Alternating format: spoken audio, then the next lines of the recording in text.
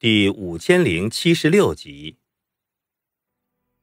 叶晨拿着玉符，怔怔出神道：“老前辈。”此处追杀而来的傅红尘看到那玉符钥匙，也是震动，大叫道：“老头，把钥匙给我！”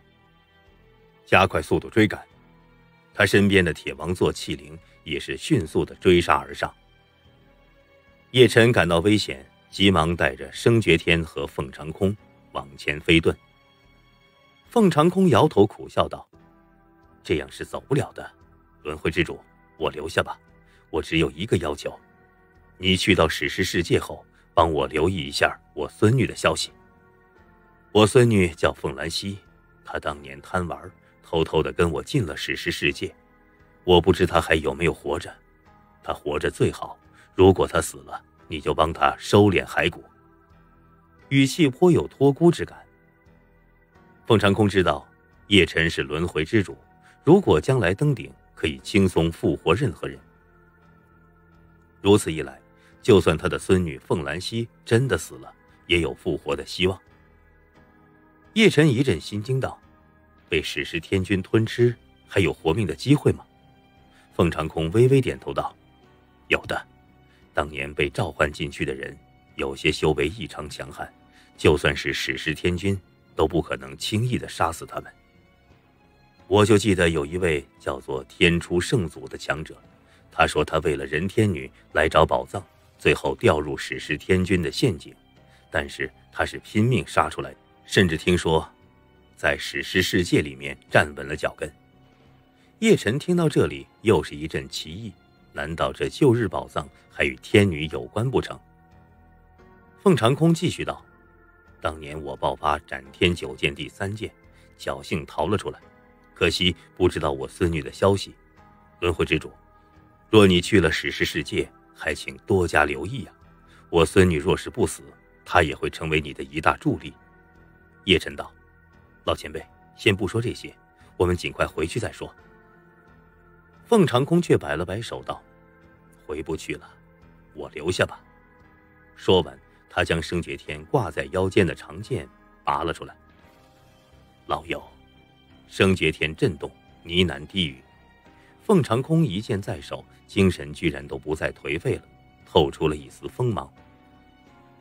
叶晨和生绝天都感觉到他的寿命在疯狂的燃烧着。凤长空的身躯上寿命燃烧的火焰，宛如是赤白的阳光一般，晃得令人眼花。傅红尘和铁王座看到凤长空那炽烈的气息，也是停顿住了脚步，暗暗戒备。这老头想要拼命了。傅红尘冷笑道。却见凤长空目光如电，直视着傅红尘，陡然一剑破空杀出。剑三，寒春芒种。一声苍老的暴喝，凤长空剑气如虹，绽放出了蓬勃的生命气息，那正是寒芒春种的剑气。芒种是一年之中生命的开始，这一剑的意蕴便是生命的绽放，突破一切死地困境与牢笼的困锁。只要这一剑杀出，再黑暗的局面都会被撕裂，再绝望的战斗，都会出现希望。这一剑正是希望之剑。叶晨和生绝天还有几个丹青仙宗的幸存者们，看到凤长空燃烧寿命，斩出了那一道希望之剑。他们都震撼了。傅红尘和铁王座一直在追杀，星空宇宙都是他们的杀器，宛如是一个死局，根本逃脱不掉。但当凤长空这一剑杀出，这个死局被破掉了。叶晨等人看到了希望的曙光。大夏皇朝在崩溃，龙雀在悲鸣，凤长空的剑居然真的扭转了战局。这老头，该死！傅红尘震怒，眼见凤长空那燃尽寿命的一剑杀来，倒也不敢大意，急忙持剑相迎。轮回之主，我们快走吧！凤长空长剑直斩傅红尘，一边发出了苍老的声音。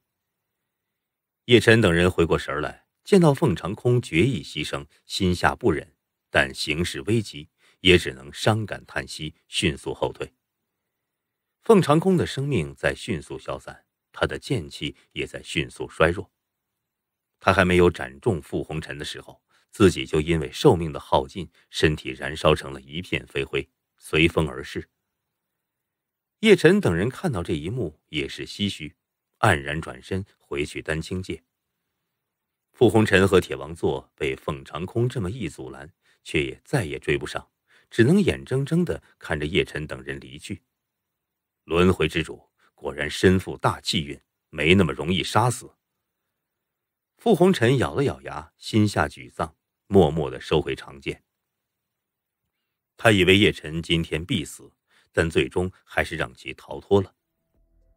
铁王做道：“无妨，他拿到了钥匙，必定会去史诗世界寻宝，我们也去寻宝即可。旧日之主的宝藏，可不能错过了。”铁王座也很清楚，旧日之主的宝藏价值不可想象，如果能够得到，足以逆天改命。此前展家大战，他差点被叶辰杀死，就算现在恢复肉身，元气根基也大大损耗，实力不足巅峰时期的一半。想要补充回来，除非夺回王座本体外，还需要额外的补充，而旧日宝藏资源丰富，正是最好的补充。傅红尘稍稍安心。铁军，你说的没错，旧日宝藏价值逆天，不容有失。顿了顿，他又有些戒备道：“只是传说那史诗之境已经诞生出气灵，号称史诗天君，却是不容小觑。”铁王做道：“有什么凶险，轮回之主会替我们解决掉，我们躲藏在暗中，坐收渔利即可。”傅红尘眼睛一亮，甚好甚好，就这么定了。等拿到宝藏，想来吴天老祖的元气也可以恢复。展家一战，魔祖吴天受损太过严重，现在傅红尘只想夺取宝藏，为魔祖吴天恢复元气。他能有今日的修为，其实曾经也有魔祖吴天的栽培指点，现在自然是想报答。与此同时，叶辰、升觉天等人回到丹青界，向宗主南宫翎汇报前事。南宫翎听到凤长空已死，但幸好钥匙找回来了，顿时松了一口气。凤长空的死活，其实他并不关心，只是关心钥匙而已。当然，表面上他自然要哀悼一番，再派人为凤长空立碑，这是基本的礼节。简单的仪式结束后。南宫岭便是向叶辰探问：“轮回之主，你打算什么时候去史诗世界寻宝？”叶辰道：“我先休息一晚，明天就去。如果可以的话，叶辰很想立即出发，因为夏若雪还在渡劫，叶辰想尽快的回去探望。只是今天与羽皇耀、傅红尘等人一战，叶辰消耗巨大，必须要休息。”南宫翎听到叶辰明天就可以出发，却是不胜之喜，道：“这么快吗？很好，很好。你记住，我需要一种名叫碎孽神丹的丹药。那种丹药可以恢复我的肉身神魂，只有在旧日时代才能够炼制，今天已经炼制不出来了。”说到这里，南宫翎便是叹息了一声：“时代并非一直在进步，反而在退化。”红军老祖、五祖等人所在的洪荒时代，灵气充沛，大道法则几乎圆满。旧日时代灵气也颇为充沛，法则虽有缺损，但并不算太过严重。但到了今天，天地灵气比起以前已经衰退了许多，现实法则也有很多的缺损，这就导致了有很多灵丹妙药因为现实法则的缺损，无法再炼制出来。就像南宫翎想要的碎孽神丹，其实丹方和材料他都收集完成了，但偏偏无论自己如何努力，都无法炼制出哪怕一丁点的药渣子。就是因为现实法则缺损了，很多丹药都炼制不出。